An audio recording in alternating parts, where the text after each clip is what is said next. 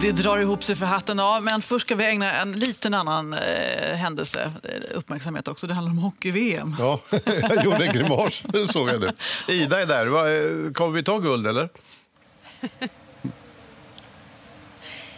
Ja, men det är klart, Steffo. Eh, Jag står ju här på spelarhotellet tillsammans med han som bestämmer i Tre Kronor. Han heter Rickard Grönborg, förbundskapten. Och det ska bli intressant att se hur eh, känslan är så här inför premiärdagen då Ryssland alltså väntar. Jättekul första motståndare tycker jag. Ryssland är ju en av favoriterna i turneringen som vi känner att vi är också. Så det blir en riktig smällkaramell den första matchen här. Hur sover man egentligen som förbundskapten inför en premiärmatch? Jag har sovit jättegott. Eh, två nätter i rad sedan vi kom till Tyskland så har jag sovit jättebra. Eh, det känns som ett lite lugn före stormen ikväll då och ehm, förberedelserna har gått riktigt, riktigt bra. Vi hade en tuff träningsvecka förra veckan och nu går vi in eh, och leder in till de här matcherna då så att nej, det ska bli riktigt, riktigt kul. Jag förmodar ju att Sverige går för guldet i det här mästerskapet vilket inte heller är så konstigt med tanke på att man har en riktigt, riktigt stark trupp här i Köln. Är det troliga förväntningar vi kan ha på er ändå?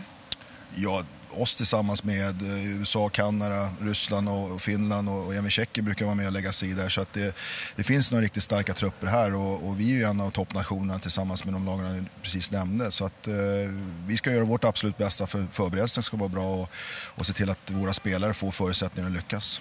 På tal om förberedelser då. Det är alltså premiärmatch mot Ryssland senare i eftermiddag klockan 16.00 kickar vi igång det. Hur ser en matchdag ut för Tre Kronor?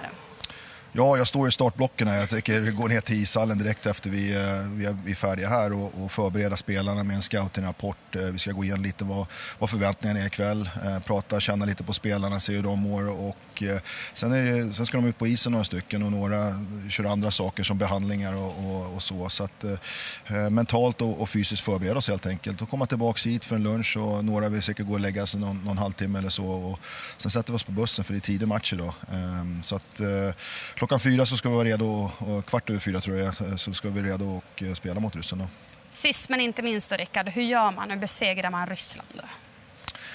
Ja, vår lagmaskin måste, måste lyckas på något sätt. De är väldigt individuellt skickliga. Eh, De är utmanar, gillar att utmana en mot en och gör vi vårt, eh, ja, vår spelfilosofi och våra spelsystem är riktigt bra eh, och alla köper in i det fullt ut så kommer de få det jobbet för då får de hela tiden svenska på sig. Och, eh, vi, vi har väldigt stark, framförallt backbesättning här och vi ska väl möta upp deras starka forwards med våra starka backar och så kan det bli riktigt roligt.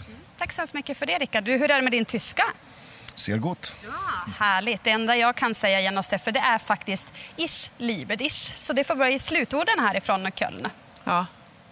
Vi älskar dig också. Eh, Och eh, Sverige när de vinner hockey-VM. Vi håller tummarna då. Absolut, det finns go- goda möjligheter till att guldhjälm av Men